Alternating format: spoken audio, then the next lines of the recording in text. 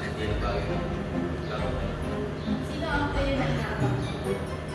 Si Exor. Bakit? Wala, gusto ko mga pakalaban na Exor.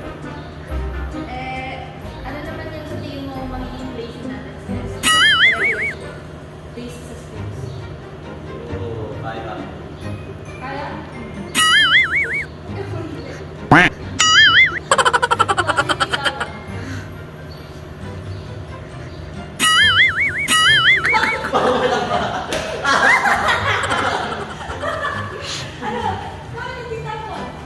Malakas yung price mo ito, eh.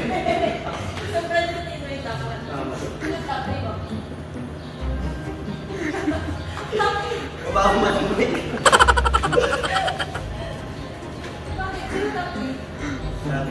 Depende mo lang eh. Siguro ano. Ego.